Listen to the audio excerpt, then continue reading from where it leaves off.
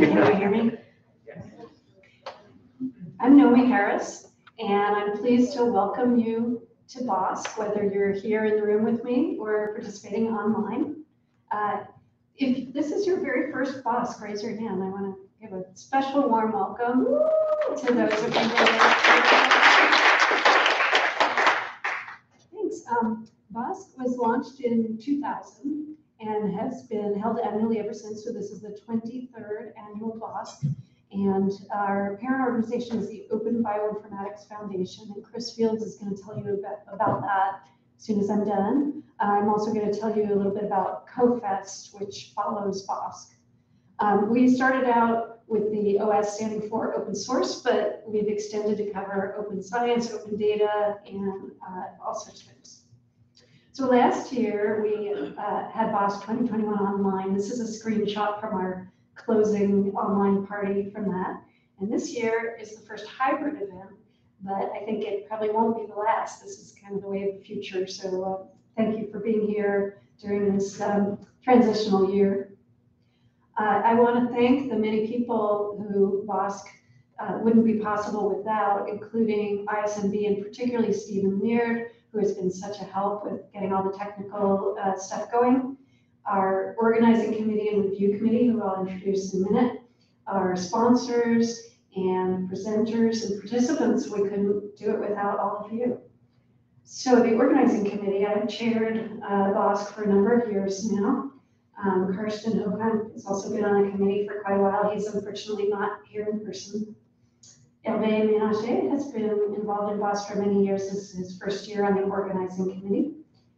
Um, Monica Munoz Torres has been on the organizing committee several years. She's here in the room, and I'm happy to welcome you warmly in Spanish for English.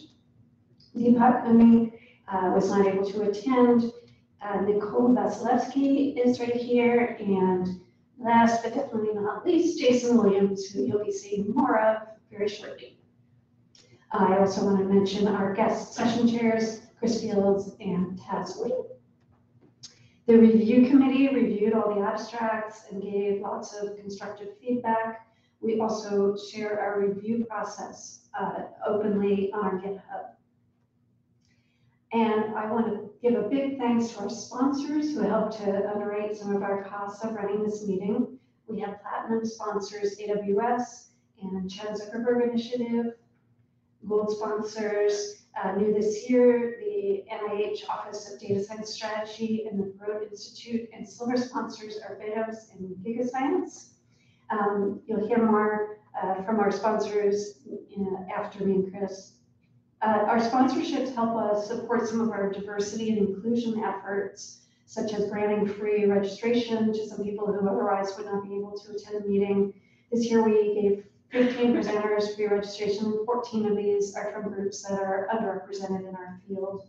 And as another example of what our sponsorships enable, in 2021, we had, as far as we know, the first keynote talk at ISMB in a language other than English. It was delivered in French by a speaker from Cameroon, and we had professional subtitles added. Um, as an example of who's been supported by these sponsorships, we have uh, David, who is a PhD student in South Africa. He got an event scholarship to attend uh, ISMB online and present his work.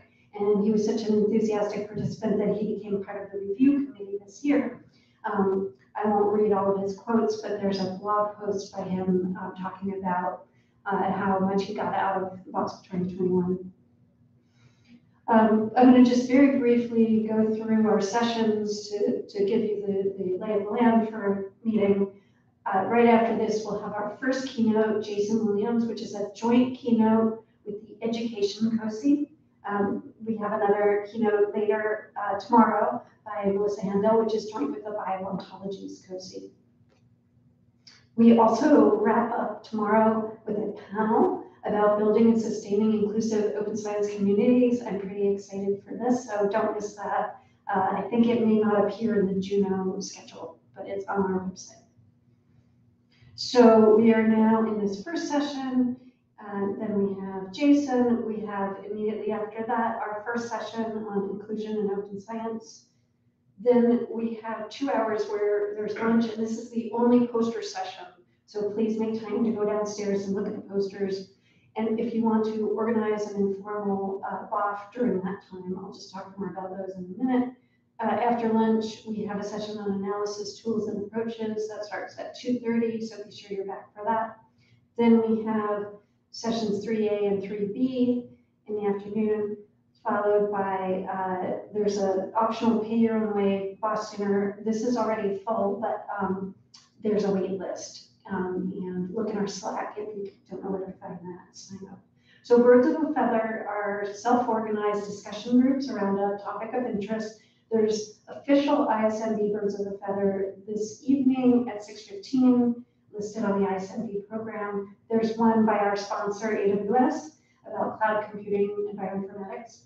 Um, But we also encourage you, if you want to just chat with people, to organize your own birds of a feather during the lunch and poster time. Feel free to use this room, grab a corner, and uh, it can be a really productive part of the conference.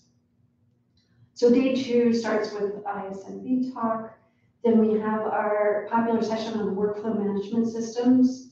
And then after lunch tomorrow, our joint session with bio-ontologies, including Melissa's keynotes and some talks chosen from abstracts submitted to both of the, the COSIs. And then finally, we have our panel tomorrow at uh, 3:45, followed by very brief closing remarks.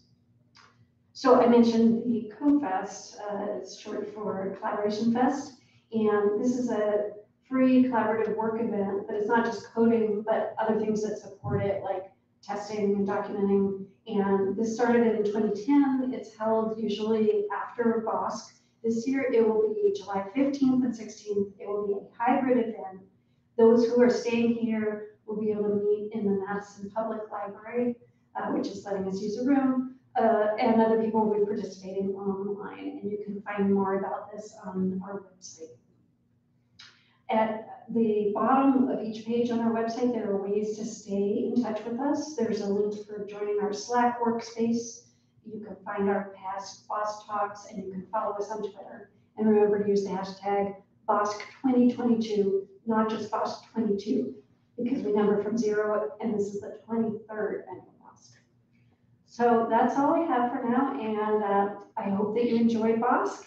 And I'm going to hand this over next to Chris Fields, who is going to talk about the Open Bioinformatics Foundation. Thank you.